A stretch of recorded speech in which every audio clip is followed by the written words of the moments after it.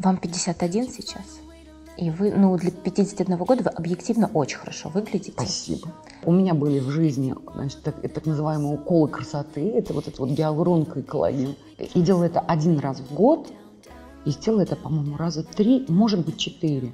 Я обнаружила, что у меня меняется лицо, что она отяжелевает. Я вообще ценю натуральность. В наблюдении за ровесницами, которые, значит, укалывались там через каждые три месяца, как раз я видела, что только хуже, потому что какое-то лицо изможденное.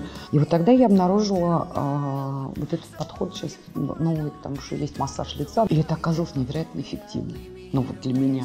Поэтому вот последнее время я, собственно говоря, занимаюсь вот этим массажем лица. Ну это все ерунда. Ну то есть каких-то серьезных таких неаппаратных, не, да, ничего, ничего. не